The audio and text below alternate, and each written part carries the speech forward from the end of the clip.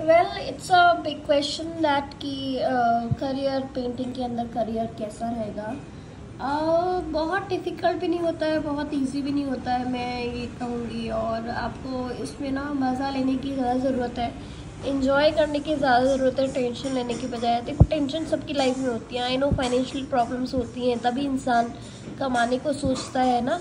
और कमाना चाहिए भी बट मुझे ऐसा लगता है कि आर्ट में ना आपको पहले तो अपने आप को थोड़ा सा शांत करना ज़रूरी है। आपको इन्जॉय करना आना चाहिए अपने आर्ट पीस को। अगर आप इन्जॉय नहीं कर रहे हो ना, सिर्फ़ टेंशन में ही काम कर रहे हो कि मुझे पैसा कमाना है, इसलिए मैं काम कर रहा हूँ तो वो कहीं भी नहीं आपको ले जाएगा, है ना?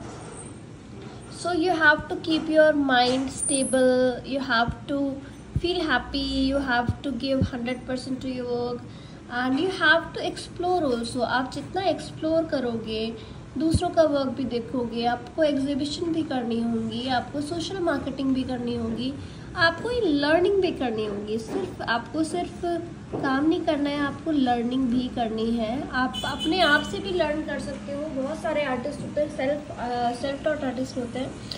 बट मुझे ऐसा लगता है कि वो वो काफ़ी हद तक सही रहता है। कि आप अपने आप से सीखते हो बट जब आप दूसरों से सीखते हो ना तो आपको अपनी गलतियों का एहसास होता है। ठीक है? कि आप कहाँ पे लैक कर रहे थे? और कई बार ऐसा होता भी है कि हम गलतियाँ करते रहते हैं ना तो इट्स बेटर कि आप चीज़ों को आ, करके तो सीख रहे हैं आप दूसरों से भी सीखें दूसरे आर्टिस्ट से भी सीखें।